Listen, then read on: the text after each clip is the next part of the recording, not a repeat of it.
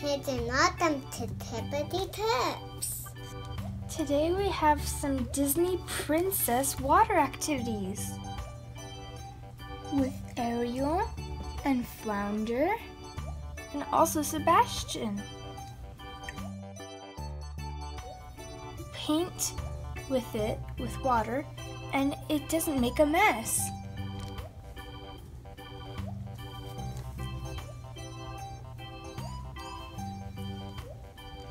We also have this Belle towel that grows when you put it into water.